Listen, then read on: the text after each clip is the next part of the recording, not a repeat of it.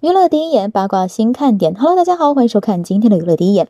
大 S 和汪小菲是在二零一零年登记结婚，十一年的婚姻生活中，两个人先后育有一女一子。在很多人看来，尽管两个人有时分隔两地，但他们感情还是蛮好的。当初呢，大 S 冒着高龄产妇的危险为汪小菲生下孩子，即便是两个孩子现在长大，却依旧是汪小菲平日里从来不舍得离口的老婆。汪小菲和大 S 上过综艺也不少，不管是两个人一起出演，还是各自参加一些节目，都从来不吝啬在人前表达对另一半的感情。比如呢，大 S 曾经就在《幸福三重奏》里面放过一句名言：“自己从来不剥虾，剥虾的是男人的工作。”可见汪小菲对他也是极尽宠爱。本来以为这两个人也就这么相亲相爱，直到天荒地老了，没想到这两天网络上却惊传大 S 和汪小菲离婚了。台媒爆料，大 S 打算和汪小菲办离婚手续，但是汪小菲回应不知情。难道汪小菲被单方面离婚了吗？网友为他们捏了一把汗。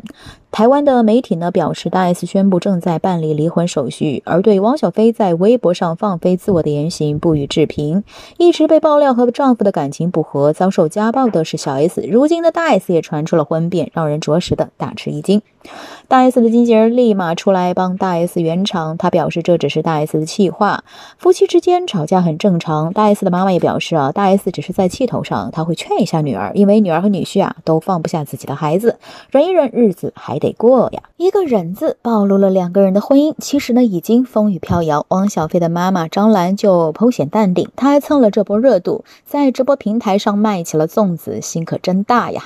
在直播间呢，张兰反复的强调谣言止于智者，她对自家的儿子也非常的自信，对着镜头猛夸儿子。但直播带货不到半小时，就疑似汪小菲的敲门声传来，制止张兰直播，别说行吗？张兰为了能够不被打扰继续直播，只好回复我没说你。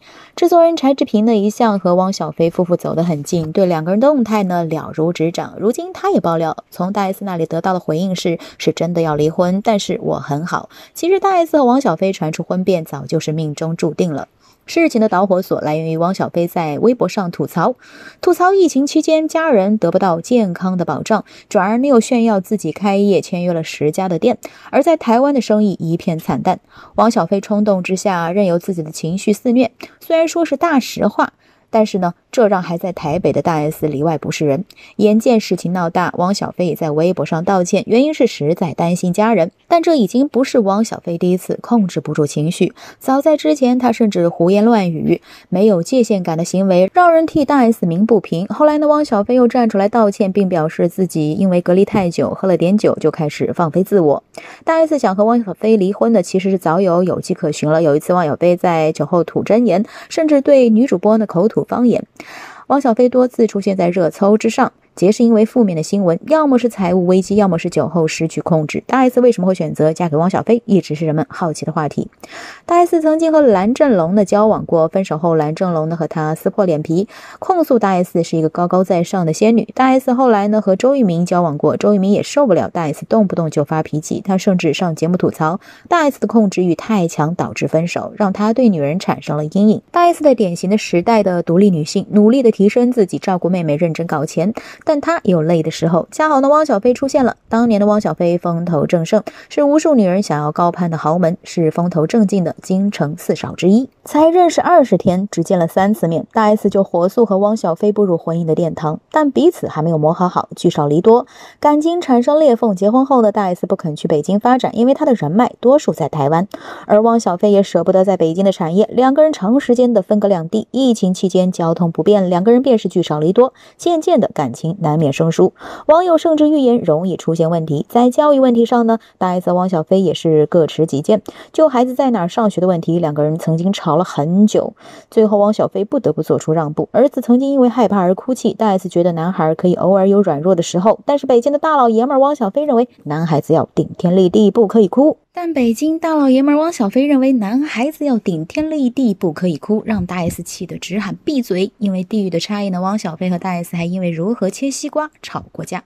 汪小菲坚持顺着纹路切，不能切成大片，既干脆又好看。而说一不二的大 S 非要从中间横切一刀，再切成小片，这样容易啃。最后还是汪小菲妥协了，一场争端呢得以平息。针对粽子是咸还是甜，两个人也可以因此产生微词闹得颇不愉快。大 S 曾经在一个月狂减十公斤，只为了回到娱乐圈做准备，被网友吐槽汪小菲成了软饭男，靠大 S 养家。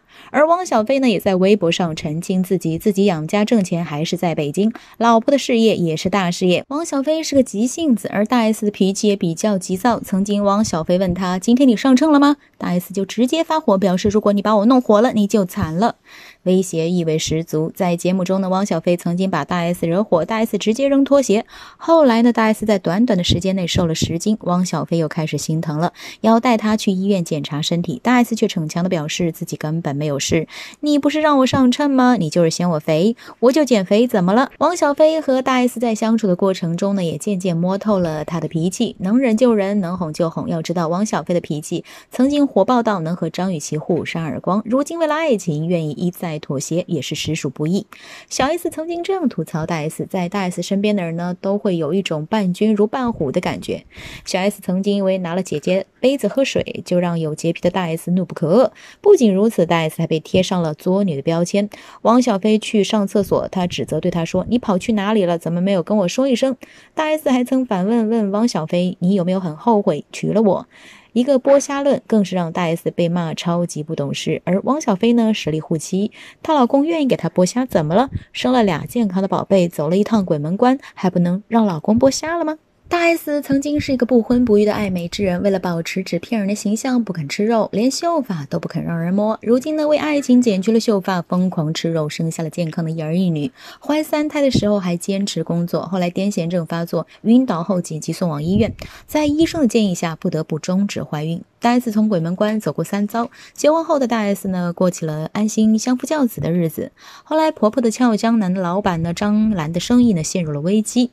汪小菲也被嘲讽为假豪门，导致大 S 不得不重新复出。大 S 的自律和努力让汪小菲曾经一度很内疚，表示自己把老婆耽误了。汪小菲懂得感恩，他希望大家理解大 S，因为他生了两个孩子，付出了很多很多，还要做家务、带孩子等等。